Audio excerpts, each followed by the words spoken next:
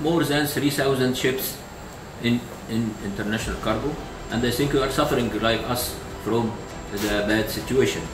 So we uh, be here to speak about what we can do and uh, how we can solve or ask about the vision for you uh, we are representing more than 3,300 vessels now.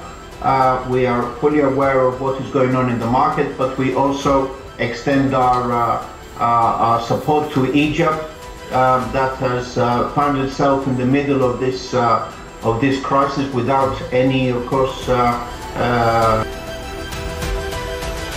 well, if I, if I, could make a comment, our, our primary concern has been the security of seafarers and ships and cargoes. So it's, it's, a, it's, a, safety question most of all for our organization and for our members. As I, as I mentioned, I said that we are ready to give any help for every ships coming to the Suez Canal.